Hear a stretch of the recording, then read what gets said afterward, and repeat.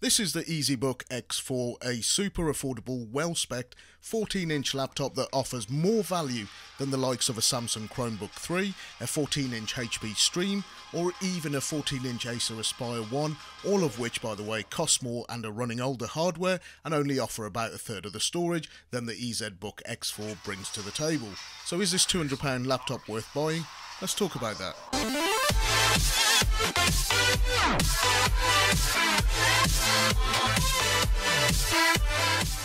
So currently at the time of filming this video, the lowest price I've seen on the X4 is £217. As always, check the link in the video description if you want to learn more, or if there's an offer code for it, I'll have it linked in there as well. Anyway, in terms of unboxing, it comes in a brown cardboard box, there's nothing special about it, and if we whiz through it, the only thing you're going to find inside is one box, and inside that you will find the power adapter. You will need an adapter to convert it from US to Europe to wherever you are in the country, so a handy dandy travel plug adapter like this will be useful. The one thing that really came as a surprise while I was unboxing this laptop was I realised this thing has got HDMI 2.0. I really wasn't expecting it. That was definitely a nice little discovery. It was a little bit strange though because anywhere that I actually looked, Jumper did not mention this on any of their marketing material, but regardless, this is a good thing and I guess I should stop moaning. The EZBook X4 is an updated version of the 3L Pro, but this new offering comes with the latest 2018 Gemini Lake Celeron N4 100, no N3 450 here. This is a quad-core CPU. This laptop does have lower amount of RAM, but it's faster RAM. It's got 4GB of DDR4. However, this is soldered, so you cannot upgrade the RAM, so maybe that's a little bit of a drawback. But on a £200 laptop, you shouldn't be upgrading stuff most of the time anyway. Uh, 128GB SSD is also included, and on the bottom of the laptop, we also have an M.2, so if you want to expand the storage even further, or you can just stick in a micro SD card. This laptop also has two USB 3.0 ports, nice, a micro micro HDMI out, a micro SD card slot that can take a 256 SD card. It also has a 1920 by 1080p TN panel, and we'll talk about that screen later on. The battery is actually rated at 11,000 milliamps, and this laptop runs full Windows 10 Home. In the looks department, the X4 has a slim, sleek, modern design, kinda like a MacBook. I mean, it's a pretty thin laptop by 2018 standards. In terms of the thickness, once the laptop is closed, it only measures 7.5 to 13 millimeters at the thickest part of the body. The body of the outer case is a matte aluminium and metal chrome construction with polished edges and accents, which gives it kind of a high quality look and feel about it. Considering it's a value orientated product, I personally quite like the look of this laptop. The X4 also has a built-in webcam which happens to be 2 megapixel. It's got dual microphones on either side of the camera and this is what you can expect in terms of audio and video coming from that camera. Now, just to give you guys an idea of the built-in webcam and the dual microphone that's on either side of the camera, this is what you can expect. Now, for a Skype call, it's perfectly acceptable, or any other kind of uh, video service uh, that you might actually use. So, yeah, there you go. Here's a webcam. Another nice touch the X4 laptop comes with is backlit keys, which run at two brightness intensity levels depending on ambient lighting in your environment, giving you the option to both increase and decrease to suit your needs. Not only that, the keys themselves are sublit, making typing in the dark a very pleasant experience. So how about the important things like the keyboard, trackpad, performance and that screen? Let's start with the keyboard. The keys are of a good size and spaced nicely, they minimise any hefty typing errors. I also like the very prominent font used on the keys. The shift and the backspace keys are full size too.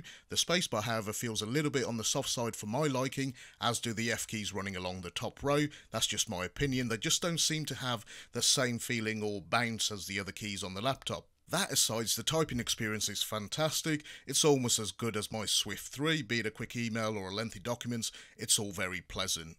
As for the trackpad, it's a good size, but initially I had some problems with the cursor. As you can see, it kept stuttering, but after doing a few updates and rebooting the PC, this kind of stuttering of the cursor kind of stopped pretty much straight away after the initial reboot. And as you can see here, you can see me moving the mouse around very freely, and all it required was a quick reboot. The touchpad itself actually feels really nice. It's not on the same kind of glass premium level, but it is a very nice one, a considerable upgrade from the previous generation. In terms of performance with the 4GB of DDR4 RAM and the newer Intel N4100, things were pretty good considering it's one of their first attempts. They definitely did a lot of things right. For most people, I would say this would make a perfect secondary laptop or even a first laptop.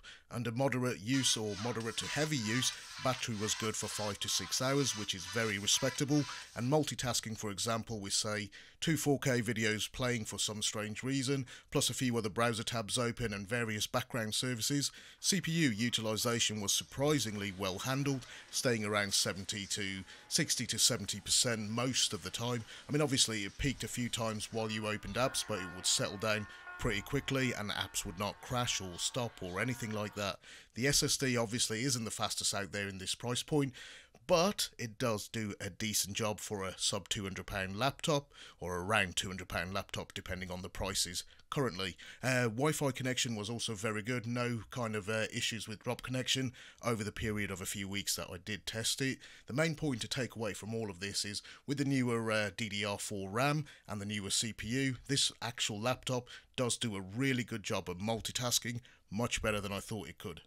The screen for me has been a little cause for research. I mean, I've seen some sites listing this as an IPS display 1080p, while I've seen uh, on some of the other sites that this is actually a TN panel. Now, I can tell you from my experience, this is definitely, in my opinion, not an IPS panel.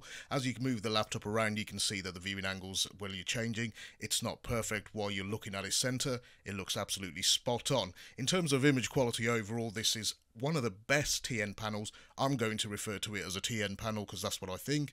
Um, this is very good. I mean, the colours really do pop. The max brightness is actually good. And I've got nothing to complain about in terms of the quality of this 1080p panel. It is, for me, aside the keyboard, the screen is one of the main draws for me with this laptop, especially for media consumption if that's what you're going to be using it for. Um, in terms of anything else, I've got no complaints with this laptop. This is a great budget laptop and honestly with some of the uh, other options that I mentioned at the start of the laptop, if you're going to buy a Chromebook for this kind of price, then why not just buy a fully working Windows 10 laptop and it's got better hardware in it, it's got a better CPU, it's got more storage. This is definitely one to consider. I mean, if you guys got any questions, then feel free to leave them in the comment section and uh, I'll catch you on the next video.